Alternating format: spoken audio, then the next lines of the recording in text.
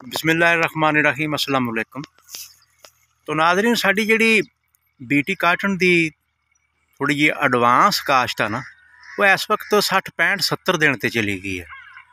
ਤੇ ਹੁਣ ਮਰਹਲਾ ਵਾ, ਇਹ ਡੋਡੀਆਂ ਕਾਫੀ ਬਣ ਗਈਆਂ, ਫੂਲ ਬਣਨ ਦਾ ਔਰ ਟਿੰਡੇ ਬਣਨ ਦਾ ਮਰਹਲਾ।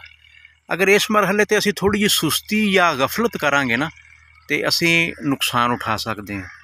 ਇਸ ਤੋਂ ਪਹਿਲੇ ਵੀ ਵਕਤਨ ਫਵਕਤਨ ਕਪਾਸ ਦੀ ਪੈਸਟੀਸਾਈਡ ਦੂਸਰੀ ਪੈਸਟ ਸਕਾਊਟਿੰਗ ਹੁੰਦੀ ਰਹੀ ਆ।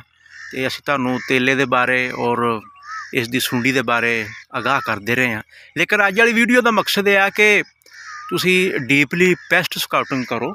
ਦੇਖੋ, ਅਗਰ ਕੋਈ ਪ੍ਰੋਬਲਮ ਹੈ, ਤੇ ਫਿਰ ਉਸ ਦੀ ਰეკਮੈਂਡੇਸ਼ਨ ਕਰਕੇ ਸਪਰੇਅ ਜਿਹੜੀ ਹੈ ਨਾ ਜ਼ਰੂਰੀ ਕਰੋ। ਤੋ, ਅੱਜ ਮੈਂ ਆਪਣੇ ਖੇਤ ਦੇ ਵਿੱਚ ਸਪਰੇਅ ਕਰਾ ਰਿਹਾ ਤੇ ਸੋਚਿਆ ਕਿ ਤੁਹਾਡੇ ਨਾਲ ਵੀ ਇਹ ਸ਼ੇਅਰ ਕਰੀਏ। ਇਹ ਦੇਖੋ ਨਾ, ਇੱਕ ਹੁਣ ਪੌਦਾ, ਇਹ ਇਹ ਡੋਡੀ ਆ। ਇਹ ਡੋਡੀ ਦੇ ਵਿੱਚ ਨਾ, ਇਹ ਤੁਸੀਂ ਦੇਖੋ ਕਿ ਅਮਰੀਕਨ ਜਿਹੜੀ ਹੈ ਇਹ ਦੇਖੋ। ਇਹ ਅਮਰੀਕਨ ਆਈ ਹੋਈ ਹੈ ਤੇ ਇਸੇ ਤਰ੍ਹਾਂ ਹੀ ਮਤਲਬ ਫੁੱਲ ਲੱਗੇ ਹੋਏ ਆ। ਅਗਰ ਤੁਸੀਂ ਵੇਖਦੇ ਆ ਨਾ ਕਿ ਹਲਕਾ ਲਾਈਟ ਜਿਹਾ ਪਿੰਕ ਜਿਹਾ ਹੋ ਗਿਆ ਔਰ ਬੰਦ ਹੋ ਗਿਆ, ਤੇ ਸਮਝ ਲਓ ਉਹਦੇ ਵਿੱਚ ਫਿਰ ਜਿਹੜੀ ਹੈ ਨਾ ਸੁੰਡੀ, ਉਹ ਬਣ ਗਈ ਹੈ ਤੇ ਐਸੀ ਸੂਰਤ ਦੇ ਵਿੱਚ ਅਸੀਂ ਕੀ ਕਰਨਾ? ਦੇਖੋ, ਅਗਰ ਤਾਂ ਨਾਲ ਕੋਈ ਤੇਲਾ ਵਗੈਰਾ ਵੀ ਆ, ਤਾਂ ਫਿਰ ਤੁਸੀਂ ਕਲੋਥਾਡੇਨ 30 ml ਫੀ ਟੈਂਕੀ 20 ਲੀਟਰ ਦੀ ਟੈਂਕੀ ਤੇ ਨਾਲ ਸੁੰਡੀ ਦਾ ਸਪਰੇ ਐਮਐਮ ਐਕਟਨ। ਤਕਰੀਬਨ 70 ਤੋਂ 75 ml ਜਿਹੜਾ ਨਾ, ਇਹ ਤੁਸੀਂ ਐਮਐਮ ਐਕਟਨ ਮਿਲਾ ਲਓ। ਤੇ ਇਸ ਦਾ ਸਪਰੇ ਜਿਹੜਾ ਨਾ, ਚਾਰ ਟੈਂਕੀਆਂ ਫੀ ਕਿੱਲਾ, ਇਸ ਨੂੰ ਯਕੀਨੀ ਬਣਾਓ। ਕਿਉਂਕਿ ਇਹ ਸਾਡੀ ਜਿਹੜੀ ਪਹਿਲੀ ਫਰੂਟਿੰਗ ਆ, ਇਹ ਬੜੀ ਅਹਿਮ ਆ। ਤੇ ਇਹ ਜਿਹੜੀ ਸਪਰੇਅ ਸਾਡੇ ਆ, ਇਹਨਾਂ ਨੂੰ ਬੜੀ ਮਰਕਜ਼ੀ ਹਸੀਅਤ ਹਾਸਲ ਆ।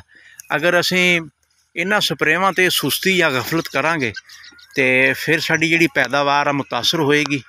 ਤੇ ਕਪਾਹ ਦੀ ਫਸਲ ਜਿਹੜੀ ਆ ਸਾਡੀ, ਇਹ ਬੜੀ ਨਾਜ਼ੁਕ ਜੀ ਫਸਲ ਆ। ਇਸ ਦਾ ਬਰ ਵਕਤ ਅਗਰ ਤੁਸੀਂ ਇਸ ਦੀ ਕੇਅਰ ਨਹੀਂ ਕਰਦੇ, ਤੇ ਫਿਰ ਇਹਦੇ ਵਿੱਚੋਂ ਉਹ ਪੈਦਾਵਾਰ ਸਾਨੂੰ ਨਹੀਂ ਮਿਲ ਸਕਦੀ ਜਿਸ ਦੀ ਅਸੀਂ ਐਕਸਪੈਕਸ਼ਨ ਕਰਾਂਗੇ, ਤਵੱਕੋ ਕਰਾਂਗੇ। ਤੋ ਅੱਜ ਵਾਲੀ ਵੀਡੀਓ ਦੇ ਵਿੱਚ ਮੇਰਾ ਦੱਸਣ ਦਾ ਮਕਸਦ ਇਹ ਹੀ ਸੀ ਕਿ ਤੁਸੀਂ ਤੇਲੇ ਵਾਸਤੇ ਕਲੋਥਾਡਿਨ 30 ml ਔਰ ਜਿਹੜੀ ਸੁੰਡੀ ਆਈ ਹੋਈ ਆ, ਉਹ ਅਗਰ ਤੁਹਾਡੇ ਫੁੱਲ ਦੇ ਵਿੱਚ ਵੀ ਆ ਤੇ ਹਜੇ ਛੋਟੇ ਸਟੇਜ ਤੇ ਆ, ਤੇ ਤੁਸੀਂ ਐਮਐਮ ਐਕਟਨ 70 80 ml ਪਾ ਕੇ ਤੇ ਇਸ ਨੂੰ ਕਵਰ ਕਰ ਸਕਦੇ ਨੈਕਸਟ ਵੀਡੀਓ ਤੱਕ ਮੈਂ ਇਜਾਜ਼ਤ ਚਾਹਨਾ ਜੀ। ਅੱਲਾ ਹਾਫਿਜ਼।